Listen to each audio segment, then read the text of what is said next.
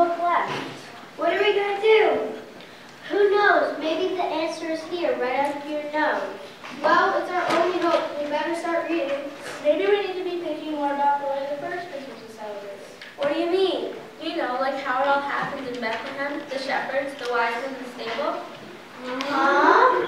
Just listen to what this book says. France celebrates Christmas Eve with magnificent midnight masses. Each church sets up a beautiful creche that shows the stable the way it was in Bethlehem. It all helps to remind everyone of the first Christmas Eve. Joyful melodies of carols and beautiful bells sing out the songs of Noel, which means Christmas.